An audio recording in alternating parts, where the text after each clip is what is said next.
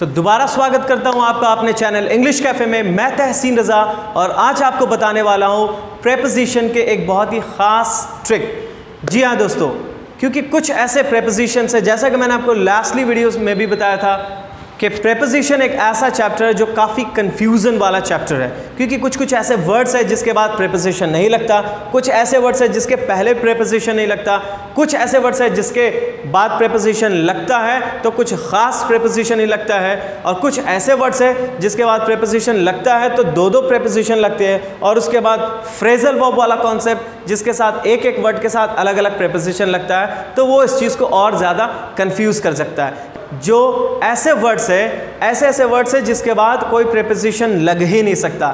لیکن عموماً زیادہ تر ہم لوگ بول چال میں یا لکھنے میں بھی اس کو مسٹیک کر جاتے ہیں اس میں۔ کیونکہ ہم لکھ دیتے ہیں ایسا کہ پلیز انفارم ٹو ہم یا پھر please sign on the paper he attacked on our constituency یا he resembles like Dhoni he resembles to Dhoni اس طریقے کا سینٹینسز جو بالکل گرامیٹیکلی غلط ہوتا ہے۔ ہمیں لگتا ہے کہ ہاں یہاں ایک پریپوزیشن کا سینس ہونا چاہیے بٹ ایکچوئل میں وہ چیز نہیں ہوتا ہے۔ سو اب سوال یہ ہے کہ یہ ایسے ورڈز ہیں جن کے بعد پریپوزیشن نہیں لگتا ہے بٹ پرابلم وہاں آتا ہے کہ آخر یہ ورڈز تو ہمیں پتہ ہے، لیکن ہم اس پہ کمانڈ کیسے کریں گے؟ یعنی کہ ہم اس ورڈ کو کیسے اپنے گرپ میں رکھیں گے تاکہ یہ ہمیشہ ہمیں یاد رہے کہ یس یہ وہ سارے ورڈز ہیں جس پہ ہمیں پریپوزیشن بالکل ہی نہیں لگانا ہے۔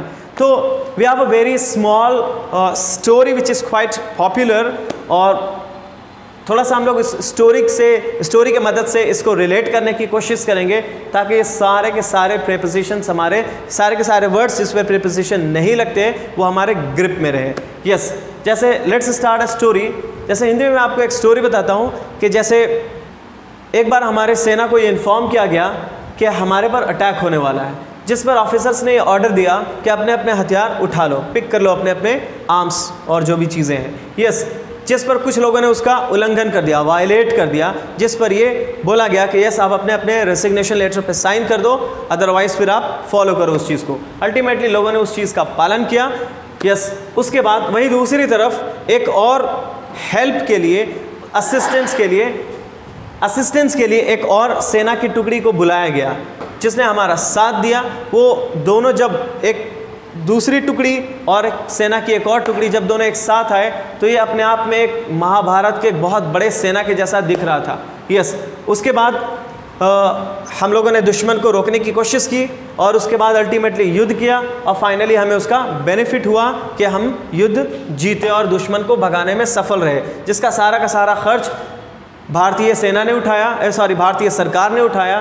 اس وجہ سے ہم لوگوں کو یہ سیکھ ملتا ہے کہ ہم لوگوں کو اپنے دیش سے پریم کرنا چاہیے، دشمنوں سے نفرت کرنا چاہیے۔ چاہے وہ کل ہو، آج ہو یا آنے والا کل ہو، چاہے ہم زندگی کے کسی مقام پہ پہنچ جائے، چاہے ہم زندگی میں کہیں اور کسی دوسرے دیش میں بھی چلے جائیں، لیکن ہمیں اپنے دیش سے محبت کرنی چاہیے۔ یس چاہے وہ ہمارے زندگی کا آخری سال ہو، آخری منتھ ہو، آخری سپتہ ہو یا آخری دن ہو۔